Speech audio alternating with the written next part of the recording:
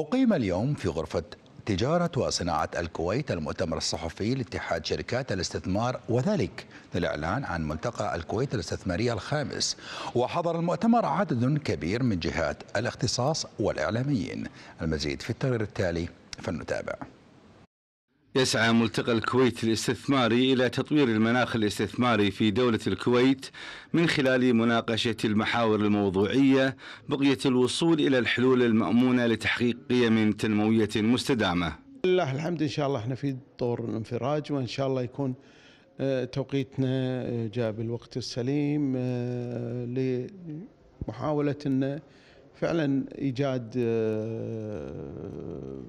حلول للي عانيناه في في في هذه الجائحة وقبلها وإن شاء الله اللي نفكر فيه في المستقبل. وبالتالي آه، من من ضمن المواضيع المهمة أو من الجلسات المهمة هي جلسة المشروعات الصغيرة اللي يمكن أكثر فئة عانت من خلال السنتين اللي فاتوا في الجائحة.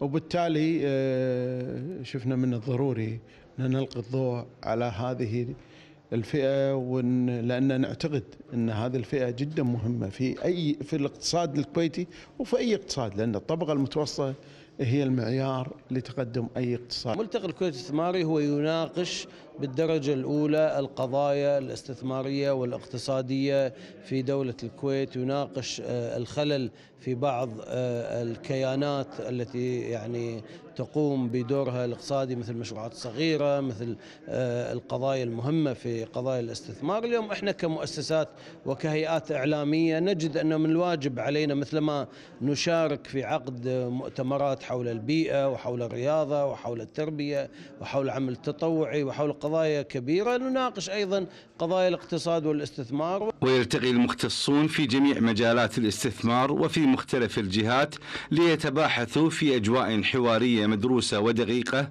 حول عدة محاور متعلقة بالعوائق التي تواجه الاستثمار في الكويت. في هناك هموم كثيرة.